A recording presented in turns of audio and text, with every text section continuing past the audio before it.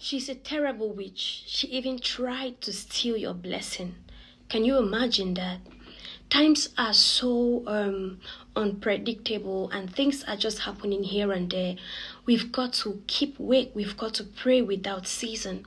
The Bible says there was a story in the Bible where there were two women who gave birth to their children, and while they were sleeping at night, one slept on their child and the child died. And instead of mourning her child and accepting her loss, she decided to exchange her child and take her friend's dead um, um, child and give the dead child to her friend. That is how evil people are. If have if they both slept and you know the other person whose, whose child was still alive, she slept in confidence, thinking that she was maybe with a co, um, you know, a sister, or maybe they, they were colleagues, whatever the case may be, and she just forgot herself. She was just carefree, and at night her, her, her child was exchanged when God brought this um, scenario to my mind, it made me to understand that never be too comfortable. Always pray.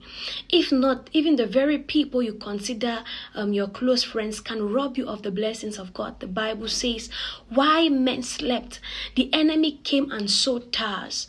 So at night, you should develop a strategy to always pray at night. That is when the devil schemes against you. That is when your destiny is manipulated. That is when your destiny is exchanged. That is when the devil comes and plants things that are not supposed to be there, making your heart, your life difficult.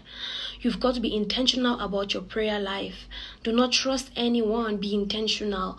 Wherever you are, try to pray and commit your destiny into the hands of God so that um, people who manipulate people's destiny will not see us. In the mighty name of Jesus, I cover your life with the blood of Jesus. I cover your destiny with the blood of Jesus. The enemy will not steal nor manipulate your destiny in Jesus' mighty name. May the Lord bless you and keep you, cause his face to shine upon you. May he be gracious to you and give you peace in Jesus' mighty name. Amen.